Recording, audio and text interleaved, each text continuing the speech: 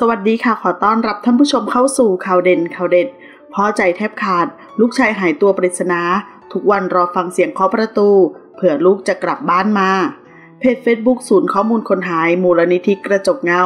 ประชาสัมพันธ์ตามหาเด็กชายหายตัวไปจากบ้านคุณเป็นพ่อใจแทบขาดออกตามหาไม่เว้นแต่ละวัน แต่ยังไม่มีวี่แวว แม้เวลาผ่านไปหลายเดือนแล้ว แต่เขาก็ยังไม่ยอมหมดหวัง ก่อนหน้านี้พาลูกไปหาหมอ ตรวจ IQ ตรวจพัฒนาการ หมอบอกว่าลูกเราคาบเส้น ให้นัดมาตรวจละเอียดอีกรอบ หมอก็แนะนำว่าระหว่างรอนัด ให้ล็อกประตูบ้านล็อกห้อง เผื่อลูกหายไปอีกพ่อก็ทำได้แค่ครึ่งชั่วโมง ลูกก็นั่งซึมมองหน้าพ่ออยู่แบบนั้นพ่อก็สงสารก็เปิดห้องให้เขาไปเล่นแถวบ้าน ไปร้านค้าซื้อขนมแถวบ้านได้ ก็ไม่คิดว่าเขาจะหายไปแบบนี้ วันนั้นพ่อบอกว่า เดี๋ยวตอนบ่ายจะไปหาแม่เขา เดี๋ยวไปซื้อของกันที่ซูเปอร์มาร์เก็ต พอออกมาจากห้องน้ำก็ไม่เจอลูกแล้ว ก็ใจไม่ดีแหละ แต่คิดว่าเขาอาจจะออกไปรอที่นั่นแล้ว พอไปถึงเจอแม่ เขาก็ไม่เห็นลูกมา ก็รีบออกตามหาตามที่ที่เขาน่าจะไป ตามร้านเกม ตามบ้านเพื่อน ก็ไม่มีใครเห็น ก็เลยไปแจ้งความเด็กหายที่โรงพักตำรวจบอกไม่ต้องห่วงหรอกเด็กติดเพื่อนเดี๋ยวก็กลับเอง แม่เขาเลยพูดต่อหน้าตำรวจว่าไม่ใช่ลูกคุณนี่ สุดท้ายก็ได้แจ้งความ ตำรวจก็บอกว่า เดี๋ยวจะตามให้ ถ้ามีอะไรคืบหน้าจะโทรหา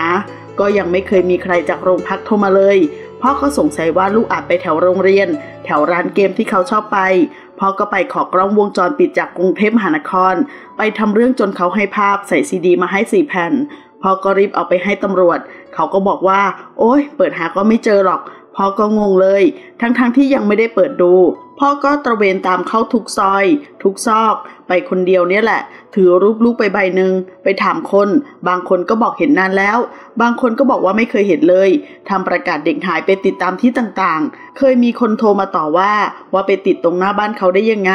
พ่อก็อธิบายและขอโทษเขา เวลาเดินไปหาเบาะแสไม่ได้อะไรกลับมา มันท้อนะ เหมือนเราพึ่งใครไม่ได้แล้ว ต้องพึ่งตัวเอง มองไปตรงไหน มันก็ตันไปหมด คิดถึงลูกว่าเขาจะอยู่ยังไงพอเขาหายไปหลายเดือนมันก็เกิดคำถามว่าเขายังอยู่กับเราไหม แต่พ่อมีความหวังเสมอนะ วันหยุดวันอะไรก็จะถามแม่เขาว่า ว่างไหม เราออกไปตามหาลูกกัน บางทีพ่อก็ไปนั่งเฝ้าหน้าร้านเกม ตามสะพานลอย ตามสี่แยกไฟแดง ครั้งละ 3-4 ชั่วโมง เผื่อลูกจะเดินผ่านมาเพราะมีความหวังแบบนั้น คิดว่าเขาจะมา จริง ๆ สมัยก่อนเขาชอบเรียนหนังสือนะ เขาอยากไปโรงเรียน พอมาขึ้นมัธยมเขาเปลี่ยนไปมาก เขาเล่นกับเพื่อนรุ่นเดียวกันไม่ได้ จะถูกแกล้ง มีแผล ตัวช้ำกลับมาตลอด ตัวเขาใหญ่นะ แต่เขาไม่สู้คน เจ็บตัวกลับบ้านตลอด เขาเลยต้องไปเล่นกับคนที่เด็กกว่า หรือเด็กกับรุ่น หรือหรือเล่นกับรุ่นพี่ไปเลย จะได้ไม่ต้องโดนแกล้ง คราวนี้ก็กังวลว่าเขาไปคบหาคนไม่ดีหรือเปล่า กลัวเขาจะถูกหลอกหรือทำร้าย วันพ่อวันแม่ เขาจะเอาดอกไม้จากโรงเรียนมาไหว้พ่อแม่นะ แล้วพอวันเกิดเขาเขาจะทวงของขวัญคืนบ้าง ที่ผ่านมาเพิ่งซื้อเครื่องบินลำใหญ่ให้เขา เขาชอบเครื่องบิน เขาเคยบอกว่าโตขึ้นอยากเป็นทหารที่ขับเครื่องบิน นั่นเป็นความฝันของเขา ส่วนตัวพ่อแม่ไม่ได้คาดหวังอะไร ก็เลี้ยงเขาไป ไม่ว่าเขาจะเป็นยังไง เขาก็คือลูกของเรา ทุกวันนี้นอนรอบางวันเช้ามืดแล้วก็ยังนอนไม่หลับ รอโทรศัพท์ว่าเขาจะโทรกลับมาไหม รอฟังเสียงเคาะประตูเผื่อเขาจะกลับบ้าน หรือมีตำรวจจะพาเขากลับมาส่ง ตอนนี้ได้แต่ภาวนาให้ได้ลูกคืน รอเขากลับมาอยู่บ้านทุกวัน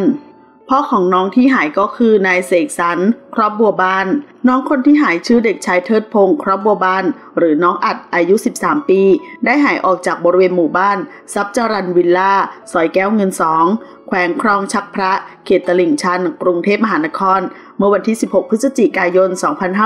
2562 น้องอัดสูงประมาณ 150เซนติเมตร น้ำหนัก 62 กิโลกรัม ผิวสองสี